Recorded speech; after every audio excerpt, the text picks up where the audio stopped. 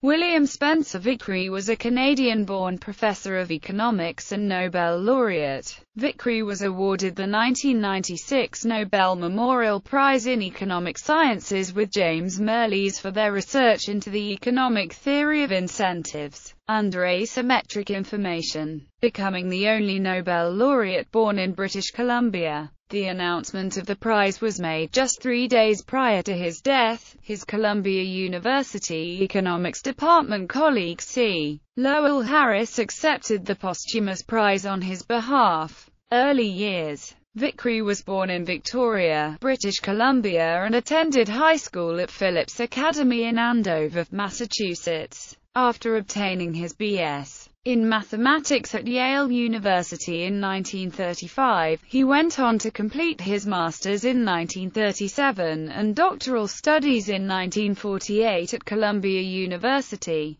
where he would remain for most of his career. Career Vickrey was the first to use the tools of game theory to explain the dynamics of auctions. In his seminal paper, Vickrey derives several auction equilibria, and provides an early revenue equivalence result. The revenue equivalence theorem remains the centerpiece of modern auction theory. The Vickrey auction is named after him. Vickrey worked on congestion pricing. The notion that roads and other services should be priced so that users see the costs that arise from the service being fully used when there is still demand. Congestion pricing gives a signal to users to adjust their behavior or to investors to expand the service in order to remove the constraint. The theory was later partially put into action in London. In public economics, Vickrey extended the marginal cost pricing approach of Harold Hotelling. Vickrey's economic philosophy was influenced by John Maynard Keynes and Henry George.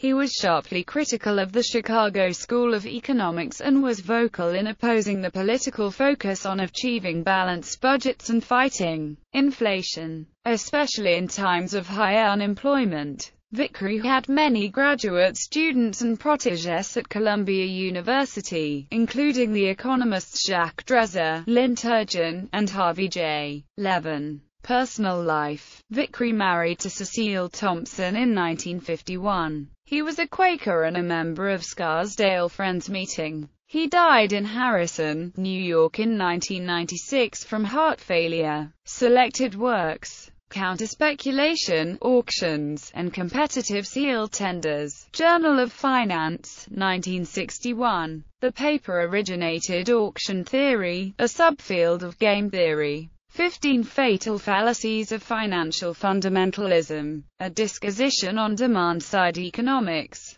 October 5, 1996. Arrow, Kenneth Joseph Arnott, Richard J. Atkinson, Anthony A. Drèze, Jacques. Public Economics. Selected papers by William Vickrey, Cambridge, UK. Cambridge University Press.